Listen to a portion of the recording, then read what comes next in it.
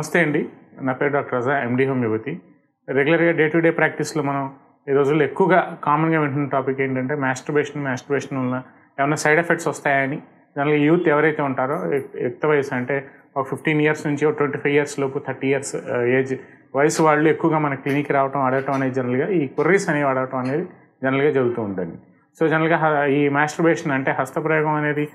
దానివల్ల ఏమైనా hair falling అవుతుందా? లేదంటే ఎక్సెసివ్ మ్యాస్ట్రబేషన్ వల్ల ఏమైనా వెయిట్ లాస్ ఏమన్నా వస్తుందా? లేదంటే హార్మోనల్ ఇంబ్యాలెన్స్ ఏమైనా వస్తుందా? ఇలా రకరకాల అపోహలతో రకరకాల క్వశ్చన్స్తో రెగ్యులర్గా వాళ్ళకి ఏదో ఉన్న హాఫ్ నాలెడ్జ్తో ఏదో రెగ్యులర్గా కొన్ని మీడియాలో వచ్చే వీడియోస్ అవి ఏదో చూడటం వాటితో ఏదో కొంతవరకు వాళ్ళు హాఫ్ నాలెడ్జ్ అనేది ఎక్వైర్ చేయటం తద్వారా వాళ్ళు మానసికంగా కుంగిపోయి డిప్రెషన్లోకి వెళ్ళిపోవటం. ఇలాంటి రెగ్యులర్గా వచ్చే యూత్ కానీ ఎవరైతే మనకి స్టూడెంట్ లైఫ్లో ఉన్న పిల్లలు ఎవరైతే ఉన్నారో బాగా బ్రైట్ లైఫ్ బ్రైట్ కెరియర్ ఒక ఫ్యూచర్ ఒక ప్రాస్పెక్టివ్లో ఉన్న ఉన్న పిల్లలు ఎవరైతే ఉన్నారో వాళ్ళు రెగ్యులర్గా రావటం వాళ్ళు ఎవరికి కంప్లైంట్స్ అనేవి షేర్ చేసుకోలేక అడగటం అనేది జనరల్గా జరుగుతూ ఉంటుంది. సో ఇప్పుడు ఈ వీడియోలో ఏంటంటే మెయిన్ ఎడ్యుకేటివ్ పర్పస్గా మనం మాట్లాడుకుంటే ఫిజియలాజికల్గా అది యుక్త వయసు వచ్చిన తర్వాత జనరల్గా అందరిలోనూ జరిగే సహజ ప్రక్రియగానే మనం జనరల్గా పరిగణిస్తూ ఉంటామండి సో దీంట్లో ఏంటంటే ఎటువంటి హార్మోనల్ చేంజెస్ రావడం కానీ లేదంటే హార్మోన్స్ అవి తగ్గిపోవటం కానీ లేదంటే దీనివల్ల ఏదో వాళ్ళకి బాల్నెస్ వచ్చేసింది.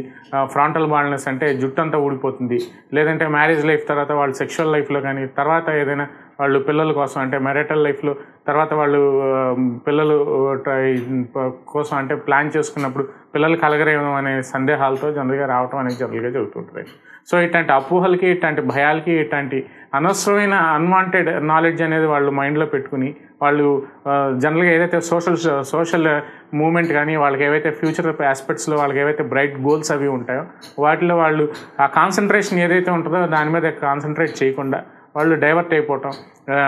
కొంతమంది దాంట్లో కొంతమంది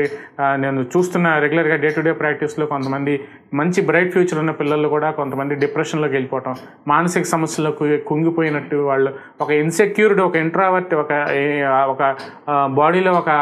ఒక నెగిటివ్ వైబ్రేషన్స్ నెగిటివ్ ఫీలింగ్స్ అవి డెవలప్ చేసుకుని వాళ్ళు అలా లోపల ఉండిపోవడం అనేది జనరల్గా జరుగుతూ ఉంటుంది. సో దీంట్లో ఏంటంటే వాళ్ళు ఏదైతే వాళ్ళు ముందు కెరీర్ గైడెన్స్ ఏదైతే ఉంటుందో దాని మీద కాన్సన్ట్రేట్ చేయకుండా ఇలా అన్వాంటెడ్ నాలెడ్జ్తో వాళ్ళు ప్రాపర్గా వాళ్ళు ఎవరికి చెప్పుకోలేక వాళ్ళు ఎవరు షేర్ చేసుకోలేక వాళ్ళ పేరెంట్స్తో కూడా వాళ్ళు ఏదైతే ప్రాబ్లం ఉందో వాళ్ళు చెప్పుకోలేక అమాంతంగా మంచి బ్రైట్ ఫ్యూచర్ ఉన్న పిల్లవాడి గ్రాఫ్ కూడా కిందకి దిగిపోయి అమాంతంగా ఒక రకమైన ఇన్సెక్యూర్ ఎన్విరాన్మెంట్లోకి తనకై తను ఫోర్ సెకండ్ ఫీలింగ్లోకి వెళ్ళిపోవడం అనేది జనరల్గా చాలామంది యుక్త వయసులో వచ్చిన పిల్లల్లో ఈరోజు ఇప్పుడు ఉన్న మోడర్న్ డే సొసైటీలో మనం జనరల్గా ఎక్కువ మంది పిల్లలను చూస్తూ ఉన్నాం. సో ఇవన్నీ ఏంటంటే ఇట్లాంటి అనుమానాలు ఇట్లాంటి అపోహలు ఇట్లాంటి భయాలు వచ్చినప్పుడు వాళ్ళు ప్రాపర్గా ఒక రైట్ క్వాలిఫైడ్ డాక్టర్ దగ్గరికి వాళ్ళు అప్రోచ్ అయ్యి వాళ్ళకి ఏవైతే ఇంటర్నల్ వాళ్ళకి ఇన్సెక్యూర్డ్ ఫీలింగ్స్ ఏవైతే ఫోర్ సెకండ్ ఫీలింగ్స్ ఏవైతే ఉంటాయో అట్లాంటివన్నీ వాళ్ళు ప్రాపర్గా షేర్ చేసుకుని అవసరమైన కౌన్సిలింగ్ అంటే జనరల్గా ఒక యాజ్ ఎ డాక్టర్గా యాజ్ ఒక క్వాలిఫైడ్ డాక్టర్గా మన దగ్గరికి వచ్చినప్పుడు మనం వాళ్ళకి ఏదో ట్రీట్మెంట్ ఇచ్చాము పంపించాము మెడిసిన్స్ రాసాం ప్రిస్క్రిప్షన్ రాసాం పంపించాము అన్నట్టు కాకుండా వాళ్ళు పర్సనల్గా మనం ఇంటర్నల్గా మనం కూర్చోబెట్టి ఒక థర్టీ థర్టీ ఫైవ్ మినిట్స్ మనం టైం తీ తీయగలిగితే డెఫి డెఫినెట్గా వాళ్ళకి లోపల ఏదైతే ఒక ఆ భయం ఉందో ఆ భయం అనేది వాళ్ళు మనకి షేర్ చేయటం వాళ్ళు ఎక్కడైనా ఇట్లా చెడు వ్యసనాలు కానీ లేదంటే ఇట్లా ఈ రకరకాల ఈ ఉన్న పాన్ వీడియోస్ కానీ ఇప్పుడు ఈ ఉన్న మనకి ఫ్లెక్సిబిలిటీ అంటే ఈ ఉన్న నెట్ మీ నెట్ ద్వారా మనకు వచ్చే అందుబాటులో ఏవైతే మనం అంటే దీంట్లో మనం అన్ని పాజిటివ్ ఫీలింగ్స్ తీసుకుంటే పాజిటివ్గా మనం మంచిగా ముందుకెళ్ళిపోగలిగితే ఆ- ఆ- ఆ అప్రోచ్ ఆ ఉండే ఆ డెవలప్మెంట్ వేరు ఉంటుంది కొంతమంది ఏమవుతుందంటే ఈ ఉన్న ఇన్సెక్యూరిటీ ఈ మెడికల్ హాఫ్ మెడికల్ నాలెడ్జ్ ద్వారా వాళ్ళు తాను వాళ్ళన్నీ తానికై తాను వాళ్ళు దాని మీద ఇంప్లిమెంట్ చేసుకోవటం వల్ల రకరకాల ఇలా ఫీలింగ్స్ డెవలప్ చేసుకుని వాళ్ళు బాగా డిప్రెషన్లోకి వెళ్ళిపోయిన యూత్ని రెగ్యులర్గా చాలామందిని నేను రెగ్యులర్గా క్లినిక్లో డే టు డే ప్రాక్టీస్లో నేను చూస్తూ ఉన్నాను సో ఇట్లాంటి వాళ్ళు వచ్చినప్పుడు మనం పర్సనల్గా వాళ్ళని కూర్చోబెట్టి కౌన్సిలింగ్ అంటే మనం ప్రాపర్గా వాళ్ళ కౌన్సిలింగ్ చేసి వాళ్ళని మనం వాళ్ళ కెరియర్ని వాళ్ళు ఎట్ట గైడ్ చేయగలం అట్ట గైడ్ చేసుకుంటూ వాళ్ళు ఒకవేళ నిజంగా ఏదైనా వాళ్ళకి ఇంటర్నల్గా హెల్త్ ప్రాబ్లం ఉంటే దానికి తగ్గట్టుగా మనం టెస్ట్లు ఇన్వెస్టిగేషన్స్ అన్నీ చేసి వాటిని ప్రాపర్గా ఇవాల్యుయేట్ చేసుకుంటూ మనం అవసరమైతే వాళ్ళు ఏదైనా ప్యాథలాజికల్గా ఏదైనా వాళ్ళకి ఏమైనా సఫరింగ్స్ ఉంటే తద్వారా మనం వాళ్ళ కాన్స్టిట్యూషనల్ వైజ్ మనం ట్రీట్మెంట్ ఇచ్చుకోగలిగితే డెఫినెట్గా వాళ్ళని within a short period of time ఆ డిప్రెషన్స్లో నుంచి కానీ వాళ్ళకి ఏమైనా ఒకవేళ హెల్త్ ప్రాబ్లమ్స్ అన్నీ ఉంటే వాటిలో నుంచి మనం బయటికి తీసుకోవడానికి హండ్రెడ్ పర్సెంట్ ఛాన్స్ ఉందని ఈ వీడియో ద్వారా నేను చెప్పదలుచుకున్నాను. సో నేను జనరల్గా ఇప్పుడు ఈ వీడియో ద్వారా నేను యూ యూత్ ఎవరైతే ఎవరైతే ఉన్నారో యువత ఎవరైతే ఉన్నారో ఇట్లాంటి అన్వాంటెడ్ భయాలకు కానీ ఇట్ అన్వాంటెడ్ అపోహలకు కానీ వాళ్ళు ఏదైతే ఈ మీడియాలో వచ్చే ఇప్పుడు ఈ